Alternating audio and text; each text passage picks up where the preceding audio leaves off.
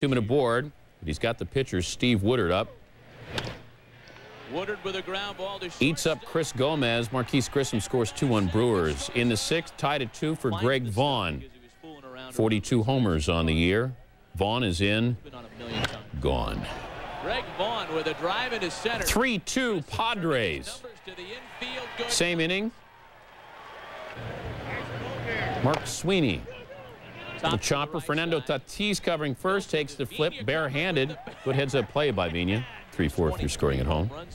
Top of the 7-2-1 for Ken Caminiti. Crush. Padres win. Padres win by the final of 7-2. Sterling Hitchcock allows one earned run in eight innings. Caminiti's homers 24th had four RBIs. Greg Vaughn homered in all three games of this series against his former mates. To Atlanta, the Braves, the Dodgers, and the salad days are over because Bruce Froemming notices a distraction in the stands in the bottom of the seventh. Hey, you eating the salad. You. Get rid of it. That's taking charge. When play resumed, two outs, bases loaded, Brian Bohanon gets Tony Graffanino looking. Bohanon had eight Ks on the day. In the eighth, one nothing Dodgers, one on, one out. Eric Karros. Eric Karros hit two bombs off Greg Maddux, homers off Tom Glavine, third homer in the last two days. Braves take a 3-0 lead. 3-0 Dodgers, bottom eight, Glenn Hoffman sends in Jeff Shaw to close it out. Oops.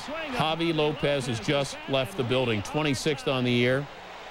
Game tied at three. Tommy is not happy. Next batter, Andruw Jones against Shaw. It's deep and it's not playable either. Braves go on to win it 4-3 on back-to-back -back jacks.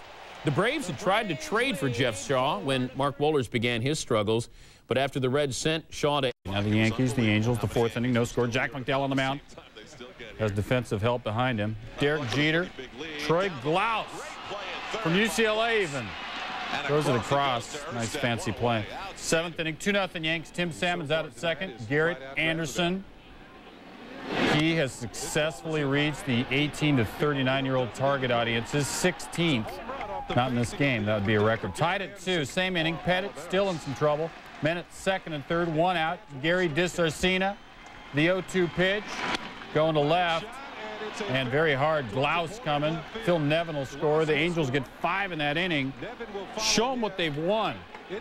American League Baseball game. The Angels get the first of five. Now on a 4-3 edge on New York this season. No score, some D here by Texas. Luis Gonzalez, the second. Mark McLemore. That's a good play. Check it out again. This is a live replay. Great reaction into the hole. Actually, there's no hole. The field is, is well put together. 2-0 Texas. Will Clark off Justin Thompson. It's a two-run dong. 4-0 Rangers. 18 for Clark this season. The eighth inning, 6-3 Texas. The bases are loaded. One out. Deivi Cruz. The double play ball. Todd Zeile, military precision. E5. Run scores 6-4 Texas on the air. Eighth inning, 6-5 Texas, two out. Damion Easley to second, McLemore to first. The Rangers hold on to win it 6-5. Aaron Sele is your man. He's your winner. On Sammy Sosa going after 52 against Shane Reynolds. Chopping Brock Ally. Mickey Morandini ripped off second, but he would be stranded. Then at 159 Central, the heavens erupt. The crops gather water. Rain delay a buck 50. Good card games in the clubhouse. Strange at bat here. Here's Mr. Reynolds. Reynolds, strike one, strike two, ball one. Again, the one, And then two. ball two. And now it's ball three, but he's awarded first base. Now the count's full. What the? Jim Quick says go to first, Reynolds. Now the umpires converge. They try to find out what's going on. The Cubs manager Jim Riggleman comes out and argues it's three and two. Quick, the umpire gets on the phone to make a collect call. To make the correct call, it would not matter. Reynolds stays at first, but he would be stranded there. Sixth inning, Astros leading 2-1. Moises Alou. Home run. 38th of the year, two-run dong. Houston up 4-1. Sun coming out at 6:10 Central Time. But nothing for Sosa, and the Cubs get pounded by a count of 12 to the against Mark Gardner. That's his third of the year. He's going to get his name in the paper. Marlins lead 3-2. 4-3 Marlins. Joe Carter. Gone. Gone. Giants win. Giants win with a final of 7 to 4. Thank goodness we didn't have to delve into the rule book Jay Bell and Greg Maddux were separated at birth. Jay Bell facing Masato Yoshii, and Jay was cracking deep to right center. Top of the wall, Andy Fox scores. Bell into third with his fifth triple of the year, one zip Arizona. Top five, two zip D-backs, one on, two outs. I said Bell was cracking, on and cracking. 17th home run of the season. Yoshii remarked, I couldn't think of how I could pitch to him. Four zip Arizona, Bell just a single away from the cycle. Bottom eight, first and second. On the 3-2 pitch, the runners go. Brian McRae, the check swing. Kelly Stinnett throws it to second. John Olerud tagged out. Stinnett then appeals the check swing. Third base ump Bill Hohn calls McRae out and ejects Bobby Valentine. With the call reversed to strike three, the double play ends the inning. Valentine said later, I get thrown out because they said I couldn't argue. That's not true. They threw me out for arguing what I can argue.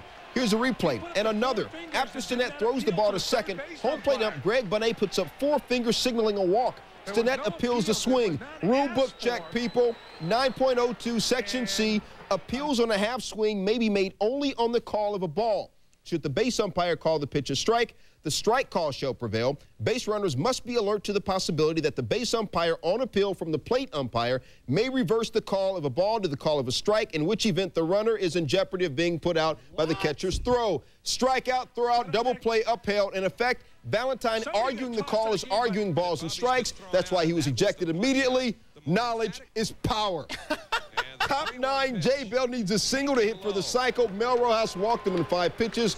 Bell remarked later, that's three times this year I've come close, but it's the first time I've only needed a single. Out in the AL just once every 15 at bats, but Ken Cloude. He's gone. He's just watching. Cloude retired the first 11 Sox. He faced eight with the strikeout. There's Kenneth. I am amused by the simplicity of the game. His second in two days, 44th of the year. Mariners sent 11 men to the plate, scored seven runs in the fourth. It's 8-1. Now it's 11-6 in the ninth. The base is loaded for Robin Ventura against Mike Timlin. I am king of the diamond. Let there be an abundant clubhouse feast. The finest meats and cheeses throughout the land. It's a grand slam. White Sox down 11-10. Timlin, Chad Kreuter swinging, leaving. Mariners hang on, sweep the series, surviving the relief pitchers who coughed up seven in the lower. 21st on the year, 1-0 Rockies.